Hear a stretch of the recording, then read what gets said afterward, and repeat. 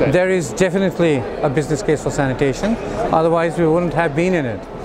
Uh, but you have to understand that business case isn't as simple as a as a normal investment where you would expect a, a return in five to seven years. Uh, this is going to take longer because there's a social in impact involved with it.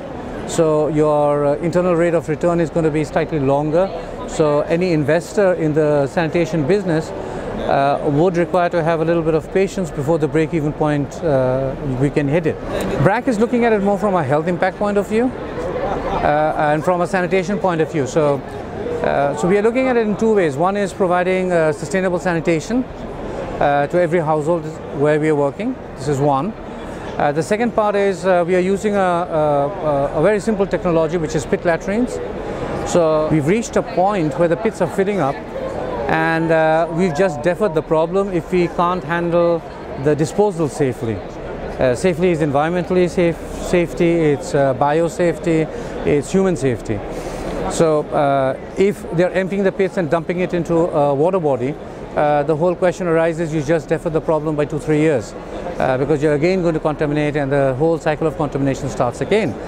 So we are also trying to build up a business case for micro and macro level uh, fecal sludge management. Uh, there's going to be compost, there's going to be biogas, which can be then used to generate electricity. And if we are smart enough, we can capture the heat from the generator and uh, build a cold storage for food preservation. This is about 6,000 tons per year just of fecal sludge. Uh, then you add on 4,000 uh, tons of uh, agricultural residues. Uh, in this particular business case we are looking at is uh, it's going to be corn stovers because BRAC has contract farming for corn and maize. And then we have chicken litter.